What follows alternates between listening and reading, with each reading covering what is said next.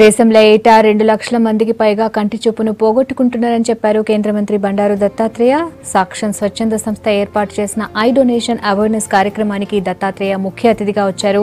సమాజంలో ఉన్న మూఢనమ్మకాలతోటి కండ్లను దానం చేసేందుకు ఎవరూ ముందుకొస్తలేరన్నారు.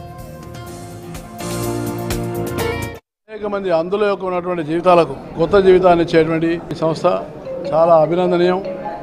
దేశవ్యాప్తంగా ఈ సంస్థ చాలా పెద్ద ఎత్తున పనిచేస్తున్నది. కానీ దేశంలో ప్రతి సంవత్సరం రెండు లక్షల మంది ఈ కార్నియా కోల్పోతున్న వాళ్ళు ఉన్నారు. ఒక లక్ష మందికి సుమారుగా ఈ కార్నియా చాలా అవసరం. ఇలాంటి సంస్థ సంక్షేమ అనేటువంటి సంస్థ వీళ్ళు తెలంగాణ ప్రభుత్వంతో ఇక్కడ ఒక కార్యక్రమం నిర్వహించి తెలంగాణలో పూర్తిగా ఈ అందులో ఈ కార్నియా అనేటువంటిది ఇప్పించి కొత్త జీవితాలను కలిగించడానికి కృషి చేస్తున్నందుకు నేను తెలంగాణ ప్రభుత్వాన్ని మరియు సంక్షేమ యొక్క సంస్థను హృదయపూర్వకంగా అభినందిస్తున్నాను.